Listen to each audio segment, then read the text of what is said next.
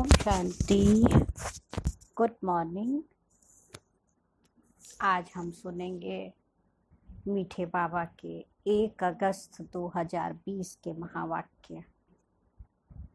तो अगस्त महीना विशेष त्योहारों का महीना। शुरुआत ही राखी रक्षाबंधन से, फिर अपने जन्माष्टमी का त्यौहार। और इसी अगस्त महीने में अपनी आदरणीय प्रकाश मणि दादी जी का भी स्मृति का महीना होता है तो पूरे मास हम दादी जी की प्रेरणाओं को भी अपने जीवन में हाँ शिक्षाओं को अपने जीवन में धारण करते हुए, स्वयं को ऐसे अव्यक्त स्वरूप बनाना, अपनी स्थिति को फरिश्ता स्वरूप बनाने का भी संकल्प करते, पवित्रता के सूचक राखी भी बांधते और नई सतयुगी दुनिया के मिचनू बच्चे राजकुमार श्री कृष्ण का भी आवाहन करते। तो हर दिन बाबा के बच्चों के लिए कुछ ना कुछ नई प्रेरणाएँ लेकर आता है। इसलिए बाबा के एक एक महावाक्य भी हमें ऐसी स्वर्णिम दुनिया में चलने की प्रेरणा देते हैं। ऐसे अपने बड़ों जैसा संपूर्ण बनने की प्रेरणा देते। तो सभी ध्यान से सुनेंगे मीठे बाबा के, आज के महावाक्य। प्यारे बाबा ने कहा, मीठे बच्चे, तुम्हें पढ़ाई से अपनी कर्मातीत अवस्था बनानी है। साथ साथ पतित से पावन बनाने का रास्ता भी बताना है। रूहानी सर्विस करनी है।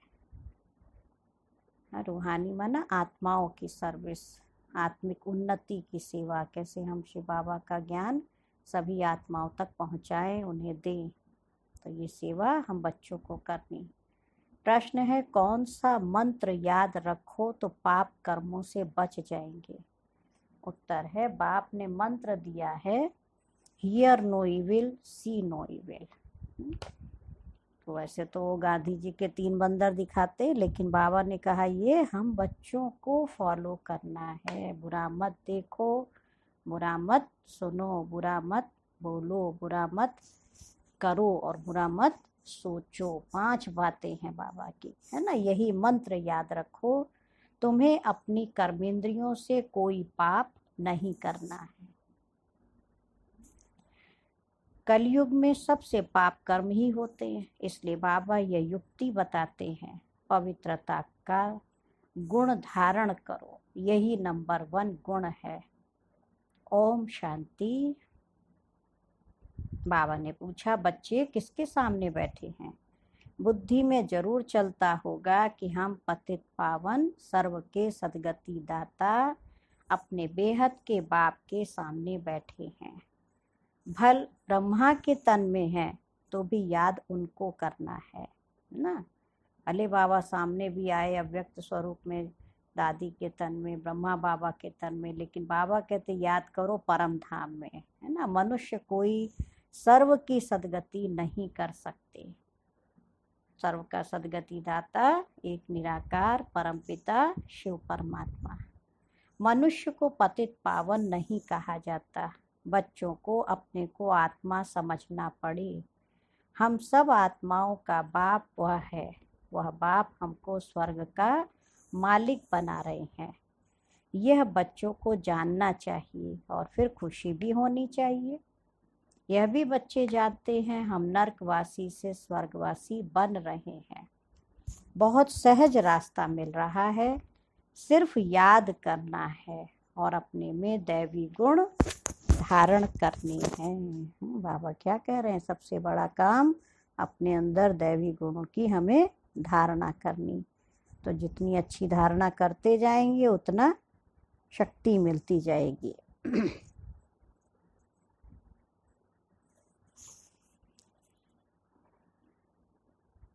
तो अपनी जाँच रखनी है। नारद का मिसाल भी है। ये सब दृष्टांत ज्ञान के सागर बाप ने ही दिए हैं। दृष्टांत वन एग्ज़ाम्पल है ना? उदाहरण देते हैं ना? तो जो भी सन्यासी आदि दृष्टांत देते हैं वह सब बाप के दिए हुए हैं। भक्ति मार्ग में सिर्फ़ गाते रहते कछुए का सर्प का भ्रमरी का दृष्टांत देंगे। हम्म, तो आप सभी इसको होमवर्क करिएगा। बाबा ने कछुए का क्या दृष्टांत दिया? हाँ हमारे जीवन से क्या उसका रिलेशन है? तो आज ये सब ध्यान से सुनेंगे और आप खुद होमवर्क करिएगा और जिसको नहीं समझ में आएगा तो फिर कल हम इसका आंसर देंगे कि कछुए का बाबा ने क्या एग्ज़ाम्पल दिया, सर्प का हाँ भ्रमरी का। परंतु खुद कुछ भी नहीं कर सकते, है ना? खाली महात्मा लोग, साधु लोग केवल उसका एग्ज़ाम्पल देंगे और बाबा ने तो प्रैक्टिकल करके दिखाया। बाप के दिए हुए दृष्टांत भक्ति मार्ग में फिर रिपीट करते हैं। भक्ति मार्ग है ही पास्ट का। इस समय जो प्रैक्टिकल होता है, उसका फिर गायन होता है। भल देवताओं का जन्मदिन अथवा भगवान का जन्मदिन मनाते हैं, परंतु जानते कुछ भी नहीं है। अभी तुम समझते जाते हो। बाप से शिक्षा लेकर पतित से पावन भी बनते हो और पतितों को पावन बनने का रास्ता भी बताते हो। ये है रूहानी, मुख्य रूहानी सर्विस। बाबा कह रही ये है तुम्हारी मुख्य रूहानी सर्विस। पहले पहले, कोई को भी आत्मा का ज्ञान देना है, तुम आत्मा हो, आत्मा का भी किसको पता नहीं है? आत्मा तो अविनाशी है। जब समय होता है, आत्मा शरीर में प्रवेश करती है तो अपने को घड़ी घड़ी आत्मा समझना है। हम आत्माओं का बाप परम पिता, परमात्मा है, परम टीचर भी है। यह भी हरदम बच्चों को याद रहना चाहिए कि हम आत्माओं का बाप, परम पिता, परमात्मा है, वो परम शिक्षक भी है। यह भूलना नहीं चाहिए। तुम बच्चे जानते हो, अब वापस जाना है, विनाश सामने खड़ा है। सतयुग में दैवी परिवार बहुत छोटा होता है और कलयुग में कितने ढेर मनुष्य हैं? अनेक धर्म, अनेक मते हैं। सतयुग में यह कुछ भी होता नहीं। बच्चों को सारा दिन बुद्धि में ये बातें लानी चाहिए। ये पढ़ाई है ना? उस पढ़ाई में तो कितने किताब आदि होते हैं। हर एक क्लास में नए नए किताब खरीद करने पड़ते हैं। और यहाँ तो कोई भी किताब व शास्त्रों आदि की बात नहीं है। इसमें तो एक ही बात, एक ही पढ़ाई है। यहाँ जब ब्रिटिश गवर्नमेंट थी, राजाओं का राज्य था तो टाइम में भी राजा रानी के सिवाय और कोई का फ़ोटो नहीं डालते थे। और आजकल तो देखो, भक्त आदि जो भी होकर गए, उनकी भी स्टैम्प बनाते रहते हैं। इन लक्ष्मी नारायण का राज्य होगा तो चित्र भी एक ही महाराजा, महारानी का होगा। ऐसे नहीं जो पास्ट देवताएँ होकर गए, उनके चित्र मिट गए हैं। नहीं, पुराने ते पुराने देवताओं का चित्र बहुत दिल से लेते हैं, क्योंकि शिव बाबा के बाद नेक्स्ट है देवताएँ, है ना? तो आज मनुष्य क्या करते? देवी देवताओं से भी बहुत प्यार है। ये सब बातें तुम बच्चे धारण कर रहे हो और उनको रास्ता बतानी। ये है बिल्कुल नई पढ़ाई। तुमने ही ये सुनी थी और पद पाया था और कोई नहीं जानते। तुमको राजयोग परमपिता परमात्मा सिखला रहे हैं। महाभारत लड़ाई भी मशहूर है। क्या होता है सो तो आगे चल देखेंगे। कोई क्या कहते कोई क्या कहते। हम्म, बाबा कह रहे दिन प्रतिदिन मनुष्यों को टच होता जाता है। कहते भी हैं वर्ल्ड वार लगेगी। अभी तो देखो कौन सी वर्ल्ड वार लगी है पूरे विश्व में ऐसा वायरस जो आत्मा को भी हाँ, पाँच विकारों रूपी वायरस देखो नुकसान पहुँचा रहा है दिखाई नहीं देता कितना सूक्ष्म है। हम्म, और शरीर को भी वायरस नुकसान दे रहा है वो भी दिखाई नहीं देता है। तो ये तो विचित्र लड़ाई है ना इससे तो कोई इसका कोई काट भी नहीं है किसी के पास जो उसके अगेंस्ट कोई लड़ भी सके है ना? तो इसके लिए है केवल एक परमात्मा, मीठे शिव बाबा की सर्वशक्तिवान परम रक्षक, परम शिक्षक, शिव बाबा की छत्र छाया। और हम बच्चे सौभाग्यशाली हैं कि हमको ऐसा प्यारा बाबा मिला, उसका परिचय मिला, उससे हमारा संबंध है, उस रूप से हम उसको याद करते हैं। तो दिन प्रतिदिन मनुष्यों को टच होता रहता है है ना? कहते भी वर्ड वार लग जाएगी, उससे पहले तुम बच्चों को अपनी पढ़ाई से कर्मातीत अवस्था को प्राप्त करना है। बाकी असुरों और देवताओं की कोई लड़ाई नहीं होती है।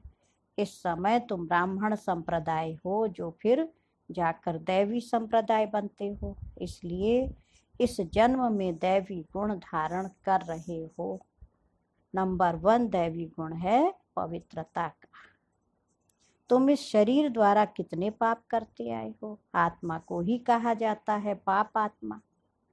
आत्मा इन कर्मेंद्रियों से कितने पाप करती रहती है? तो बाबा कह रहे, अब हियर नो विल बुरा मत सुनो। किसको कहा जाता है? आत्मा को। आत्मा ही कान से सुनती है तो बाबा कहते, बुरा मत सुनो। बुरा सुनेंगे नहीं तो बुरा करेंगे नहीं हाँ गुस्सा भी नहीं आएगा। कहते हमने अपने कान से सुना था, ये गलत बात है है ना? तो बाबा कहते, नहीं सुनना है। बाप ने तुम बच्चों को स्मृति दिलाई है कि तुम आदि सनातन देवी देवता धर्म वाले थे। चक्र खाकर आए, अब फिर वही तुमको बनना है। यह मीठी स्मृति आने से पवित्र बनने की हिम्मत आती है। तुम्हारी बुद्धि में है, हमने कैसे चौरासी जन्मों का पार्ट बजाया है? पहले पहले हम यह थे, ये कहानी है ना तो बुद्धि में आना चाहिए। बाबा कह रहे सब बातें बुद्धि में आनी चाहिए। पाँच हज़ार वर्ष पहले हम सो देवता थे, हम आत्मा मूल वतन की रहने वाली हैं। आगे यह जरा भी ख्याल नहीं था, हम आत्माओं का वह घर है। वहाँ से हम आते हैं पार्ट बचाने। सूर्यवंशी, चंद्रवंशी, फिर वैश्यवंशी, फिर शूद्रवंशी बने। अभी तुम ब्रह्मा की संतान ब्राह्मण वंशी हो। तुम ईश्वरीय औलाद बने हो। ईश्वर बैठकर तुमको शिक्षा देते हैं। ये सुप्रीम बाप, सुप्रीम टीचर, सुप्रीम गुरु भी है। हम उनकी मत से सब मनुष्यों को श्रेष्ठ बनाते हैं। बाबा कह रहे मुक्ति जीवन मुक्ति दोनों श्रेष्ठ हैं। हम अपने घर जाएँगे फिर पवित्र आत्माएँ आकर राज्य करेंगी। ये चक्र है ना? इसको कहा जाता है स्वदर्शन चक्र माना स्वयं का दर्शन करना। यह ज्ञान की बात है। बाप कहते तुम्हारा ये स्वदर्शन चक्र रुकना नहीं चाहिए। हम्म, जैसे पंखा चलता है ना तो शरीर को ठंडक मिलती है। तो ऐसे ही आत्मा के चक्र का ये पंखा चलता रहे तो आत्मा को शांति शीतलता मिलती रहे। हम्म, न क्रोध आएगा न ईर्षा नफरत आएगी। याद रहेगा हम देवी देवता कुल की आत्माएँ हैं। हाँ हमें फिर वहीं चलना है ऐसा बनना है। तो बाबा कहते ये स्वदर्शन चक्र तुम्हारा रुकना नहीं चाहिए। फिरते रहने से विकर्म विनाश हो जाएँगे। जैसे शास्त्रों दिखाते ना वो चक्र चलता था गोल गोल तो असुरों का गला कटता जाता था। तो बाबा कहते, ऐसे ही तुम्हारा चक्र फिरता रहेगा तो तुम्हारे विकर्म विनाश होते जाएँगे।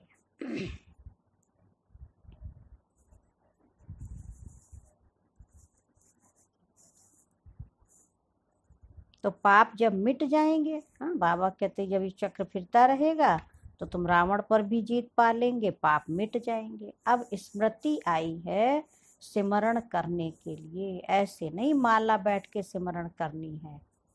आत्मा में अंदर ज्ञान है जो तुम बच्चों को और भाई बहनों को समझाना है। बच्चे भी मददगार तो बनेंगे ना। तुम बच्चों को ही स्वदर्शन चक्रधारी बनाता हूँ। यह ज्ञान मेरे में है। इसलिए मुझे ज्ञान का सागर, मनुष्य सृष्टि का बीज रूप कहते हैं। उनको बागवान कहा जाता है। देवी देवता धर्म का बीज शिव बाबा ने ही लगाया है। अभी तुम देवी देवता बन रहे हो। ये सारा दिन सिमरण करते रहो तो भी तुम्हारा बहुत कल्याण है। बाबा कह रहे, दैवी गुण भी धारण करने हैं, पवित्र भी बनना है। स्त्री पुरुष दोनों इकट्ठे रहते पवित्र बनते हो। ऐसा धर्म तो होता नहीं है। निवृत्ति मार्ग वाले तो वह सिर्फ़ पुरुष बनते हैं। कहते हैं ना, स्त्री पुरुष दोनों इकट्ठे पवित्र रह नहीं सकते। मुश्किल है। लेकिन बाबा ने, देखो ऐसा इतना ऊँचा ज्ञान दिया तो आज लाखों बच्चे बाबा के घर गृहस्थ में रहते, पवित्र रहते हैं, देखो। हम्म। सतयुग में थे ना ऐसे लक्ष्मी नारायण की महिमा भी गाते हैं। अभी तुम बच्चे जानते हो, बाबा हमको शूद्र से ब्राह्मण बनाए, फिर देवता बनाते हैं। हम ही पूज्य से पुजारी बनेंगे, फिर जब वाम मार्ग में जाएँगे तो शिव का मंदिर बनाए पूजा करेंगे। तुम बच्चों को अपने चौरासी जन्मों का ज्ञान है। बाप ही कहते हैं, तुम अपने जन्मों को नहीं जानते हो। मैं बताता हूँ। ऐसे और कोई मनुष्य कह ना सके। तुमको अब बाप स्वदर्शन चक्रधारी बनाते हैं। तुम आत्मा पवित्र बन रही हो, शरीर तो यहाँ पवित्र बन ना सके। आत्मा पवित्र बन जाती है तो फिर अपवित्र शरीर को छोड़ना पड़ता है। सब आत्माओं को पवित्र होकर जाना है। बाबा कह रहे, पवित्र दुनिया अब स्थापन हो रही है और बाकी सब स्वीट होम में चले जाएँगे। ये याद रहना चाहिए। बाप की याद के साथ साथ घर की भी याद ज़रूर चाहिए, क्योंकि अब वापस घर जाना है। घर में ही बाप को याद करना है। तो ना, बुद्धि कहाँ रखें? घर में रखना। घर में चैन आती है ना, कहते अपने घर में ही सुकून है। कहीं भी घूम फिर आओ, कितना भी लोग सम्मान करें, कितनी खातिरदारी करें, फिर भी कहेंगे, चैन अपने ही घर में है। है ना? भल तुम जानते हो, बाबा इस तन में आकर हमको सुना रहे हैं, परंतु बुद्धि परम धाम स्वीट होम से टूटनी नहीं चाहिए। टीचर घर छोड़कर आते हैं तुमको पढ़ाने। पढ़ाकर फिर बहुत दूर चले जाते हैं। सेकंड में कहाँ भी जा सकते हैं? हाँ शिव बाबा टीचर देखो, अपना घर परम धाम छोड़ के नीचे आते हैं वे पढ़ाने। आत्मा कितनी छोटी बिंदी है, वंडर खाना चाहिए। बाप ने आत्मा का भी ज्ञान दिया है यह भी तुम बच्चे जानते हो। स्वर्ग में कोई गंदी चीज़ होती नहीं जिसमें हाथ पाँव अथवा कपड़े आदि मैले हों ऐसा वहाँ होता ही नहीं कोई गंदगी। हम्म, देवताओं की कैसी सुंदर पहरवाइश है कितने फ़र्स्ट क्लास कपड़े होंगे। हम्म, धोने की भी दरकार नहीं। इनको देख कर कितनी खुशी होनी चाहिए। तो ऐसे फ़र्स्ट क्लास होते तो धूल मिट्टी कहीं होती ही नहीं थी। और दिन भर में कितनी बार तो कपड़े ही चेंज होते थे उनके। आत्मा जानती है, भविष्य किस जन्म हम यह बनेंगे। बस देखते रहना चाहिए। यह चित्र सबके पास होना चाहिए। इसमें बड़ी खुशी चाहिए। हमको बाबा यह बनाते हैं। ऐसे बाबा के हम बच्चे फिर रोते क्यों हैं? बाबा क्या कह रहे हैं? आश्चर्य लगता है। रोते हैं बच्चे। हाँ वंडर लगता है। हमको कोई फ़िक्र थोड़ी होनी चाहिए। देवताओं के मंदिर में जाकर महिमा गाते हैं। सर्वगुण संपन्न सोलह कला संपूर्ण संपूर्ण, निर्विकारी। क्या क्या कहते देखो अचतम केशवम कृष्ण, दामोदरम, जानकी, वल्लभम कितने नाम बोलते जाते हैं। ये सब शास्त्रों में लिखा हुआ है जो याद करते हैं। अब शास्त्रों में किसने लिखा? कहेंगे व्यास ने लिखा। ये कोई नए नए भी बनाते रहते हैं। ऐसे भी बहुत हैं जो उसमें एडिशन करते रहते। ग्रंथ आगे बहुत छोटा था। हाथ से लिखा हुआ था। अभी तो कितना बड़ा बना दिया है। तो ज़रूर एडिशन किया होगा। तो पहले कोई प्रिंटिंग मशीन तो होती नहीं थी तो हाथ से लिखा हो कितना होता था? छोटा सा। तो बाबा कह रहे, अब गुरु नानक तो आते ही हैं धर्म की स्थापना करने। ज्ञान देने वाला तो केवल एक ही है। क्राइस्ट भी आते हैं सिर्फ़ धर्म की स्थापना करने के लिए। जब सब आ जाते हैं, फिर तो वापस जाएँगे ना? घर भेजने वाला कौन है? क्या क्राइस्ट? नहीं। बाबा कह रहे, वह तो भिन्न भिन्न नाम रूप से तमो प्रधान अवस्था में अभी वो आत्मा तो देखो भी दूसरा कोई शरीर ले लिया होगा और अभी भी वो आत्मा भी देखो तमो प्रधान बन गई। सतो रजो तमो में आते हैं ना? इस समय सब तमो प्रधान है। सबकी जड़जड़ी भूत अवस्था है। पुनर्जन्म लेते लेते इस समय सब धर्म वाले आकर तमो प्रधान बने हैं। अब सबको वापस जाना ज़रूर है। फिर से चक्र फिरना चाहिए। पहले पहले नया धर्म चाहिए जो सतयुग में था। बाप ही आकर आदि सनातन देवी देवता धर्म की स्थापना करते हैं। फिर विनाश भी होना है। स्थापना, विनाश, फिर पालना। पहले स्थापना होती है, फिर दूसरी तरफ़ विनाश होता फिर जब बन गया तब उसकी पालना होती। सतयुग में एक ही धर्म होगा। ये स्मृति आती है ना? सारा चक्र स्मृति में लाना है। अभी हम चौरासी का चक्र पूरा कर वापस घर जाएँगे। तुम बोलते चलते स्वदर्शन चक्रधारी हो। बाबा क्या कह रहे चलते फिरते बुद्धि में स्वयं का दर्शन करते रहो, ये चक्र फिराते रहो। वो फिर कहते, कृष्ण को स्वदर्शन चक्र था, उसने हाँ उनसे सबको मारा आकासुर बकासुर आदि के चित्र दिखाए हैं। हम्म। परंतु बाबा क्या कहते, ऐसी कोई बात है नहीं, तुम बच्चों को अभी स्वदर्शन चक्रधारी बनकर रहना है। क्योंकि स्वदर्शन चक्र से तुम्हारे पाप कटते हैं। हम्म, आसुरी पना खत्म होता है। देवताओं और असुरों की लड़ाई तो हो न सके। असुर हैं कलयुग में और देवताएँ हैं सतयुग में। बीच में है संगम युग। शास्त्र है ही भक्ति मार्ग के। ज्ञान का नाम निशान नहीं। ज्ञान सागर एक ही बाप है सबके लिए। सिवाय बाप के कोई भी आत्मा पवित्र बन वापस जा नहीं सकती, है ना? केवल एक बाबा ही है जो पवित्र बनाते हैं हम्म। पार्ट ज़रूर बजाना है तो अब अपने चौरासी के चक्र को भी याद करना है।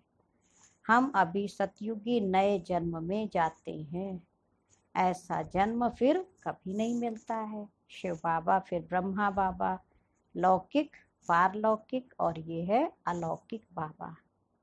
इस समय की ही बात है। इनको अलौकिक कहा जाता है। तुम बच्चे उस शिव बाबा को सिमरण करते हो, ब्रह्मा को नहीं। भल ब्रह्मा के मंदिर में जाकर पूजा करते हैं, वह भी तब पूजते हैं जब सूक्ष्म वतन में संपूर्ण अव्यक्त मूर्त है। ना ब्रह्मा बाबा जब साकार में थे तो उस स्वरूप की पूजा नहीं। बाबा कह रहे, जो भी मंदिर भी एक बना भी है तो भी कब का? जब अव्यक्त स्वरूप संपूर्ण बन गए। ये शरीरधारी पूजा के लायक नहीं है, क्योंकि शरीर पाँच तत्वों से बना, वो भी विकारी हो गया। देखो सब, पाँच तत्व भी प्योर है। ये तो मनुष्य है ना, मनुष्य की पूजा नहीं होती। ब्रह्मा को दाढ़ी दिखाते हैं तो मालूम पड़े कि यहाँ का है। बाकी देवताओं को दाढ़ी आदि नहीं होती है। किसी भी देवी देवता को देखो, बुज़ुर्ग नहीं दिखाया दाढ़ी मोछ तो ये कलयुग की निशानी हुँ? ये सब बातें बच्चों को समझा दी हैं। तुम्हारा नाम बाला है। बाला माने फ़ेमस है। इसलिए तुम्हारा मंदिर भी बना हुआ है। सोमनाथ का मंदिर कितना ऊंचते ऊंच है। सोमरस पिलाया, फिर क्या हुआ? फिर यहाँ भी दिलवाड़ा मंदिर देखो। मंदिर हो बहु यादगार बना हुआ है। नीचे तुम तपस्या कर रहे हो, ऊपर में स्वर्ग है। मनुष्य समझते स्वर्ग कहाँ ऊपर में है। देवताओं मंदिरों में भी देखो, नीचे स्वर्ग कैसे बनाए? तो ऊपर छत में बना दिया। बाकी बनाने वाले कोई समझते नहीं है। बड़े बड़े करोड़पति हैं, उनको ये समझाना है। तुमको अभी ज्ञान मिला है तो तुम बहुतों को दे सकते हो। है ना? ज्ञान की बातें जो मिली हैं, सुन रहे हो, बाबा कह रहे, सबको बांटते रहो। अच्छा मीठे मीठे, सिकी लधे, बच्चों प्रति मात पिता बाप दादा का याद, प्यार और गुड मॉर्निंग। रूहानी बाप की रूहानी बच्चों को नमस्ते। हम रूहानी बच्चों की मात पिता बाप दादा को याद, प्यार, नमस्ते और गुड मॉर्निंग। शुक्रिया बाबा, शुक्रिया। बेहद दिल से बाबा का शुक्रिया। आज धारणा के लिए मुख्य सार है, फ़र्स्ट पॉइंट है अंदर से आसुरी पने को समाप्त करने के लिए चलते फिरते स्वदर्शन चक्रधारी होकर रहना है। सारा चक्र स्मृति में लाना है। सेकंड पॉइंट है, बाप की याद के साथ साथ बुद्धि परम धाम घर में भी लगी रहे। है ना? कई बार देखो होता है ना माता पिता बच्चों के घर पहुँच भी जाते वहाँ बेटी के पास ससुराल कहेंगे, हम आ गए बेटा। तो भी बेटी क्या कहेगी, नहीं माँ हम तो घर ज़रूर आएँगे, हमको अपना घर याद आता है। कहेंगे, हम आ तो गए बेटा? कहेंगे, नहीं, अपना कमरा, अपना आँगन, अपना घर, अपना हाँ वो सब देखेंगे। मेरे को उसकी याद आती है। तो अभी हम आत्माओं को भी देखो अपना घर याद आता है। भले शिव बाबा परम धाम से नीचे आ गया, लेकिन बाबा कहते, तुम्हें अपनी बुद्धि परम धाम में रखनी है। बाप ने जो स्मृतियाँ दिलाई हैं उनका सिमरण कर अपना कल्याण करना है।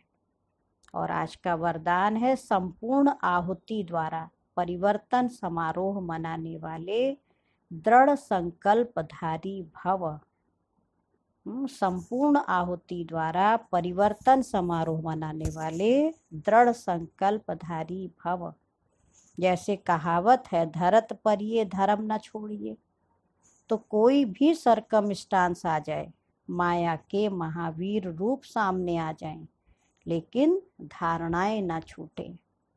संकल्प द्वारा त्याग की हुई बेकार वस्तुएँ संकल्प में भी स्वीकार ना हो।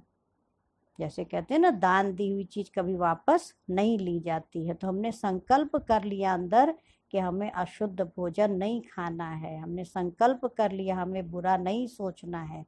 तो संकल्प में भी उन्हें वापस नहीं लेना है सदा अपने श्रेष्ठ स्वामान, श्रेष्ठ स्मृति और श्रेष्ठ जीवन के समर्थी स्वरूप द्वारा श्रेष्ठ पाठधारी बन, श्रेष्ठता का खेल करते रहो कमजोरियों के सब खेल समाप्त हो जाएँ।